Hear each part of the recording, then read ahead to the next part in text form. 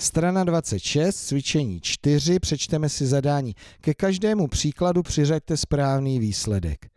Šest příkladů a k tomu šest výsledků.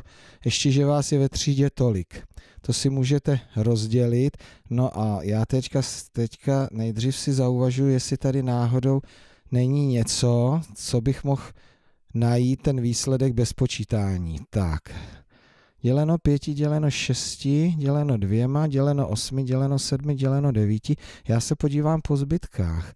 Jeden, dva, tři, dva, jedna, čtyři. Hele, tady je děleno dvěma a aby byl nějaký výsledek správný, tak nemůže být uh, zbytek vě- roven nebo větší tomu děliteli, takže určitě tam nebude 2, 3, 2, 4 a tam bude patřit jeden z těch dvou výsledků, no a 21 tisíc, když rozdělím na dvě části, tak určitě nedostanu 85 tisíc.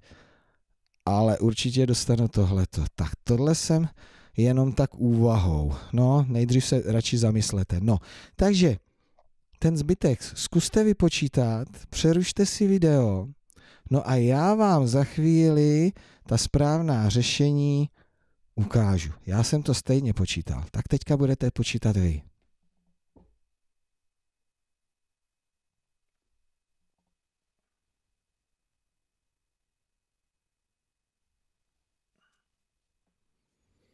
Tak, počítali jste?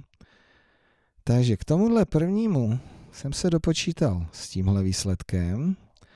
Tady k tomu mi vyšel tenhle výsledek.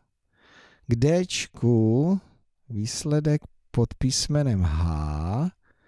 K Ečku I, je tam tečka, že jo? Tady, aha, je. No a tady to. Vyšlo vám to taky tak?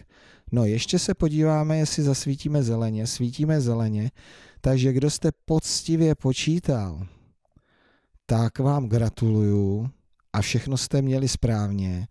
Já si myslím, že v tuto chvíli o sobě můžete říct, že umíte písemně dělit jednociferným dělitelem.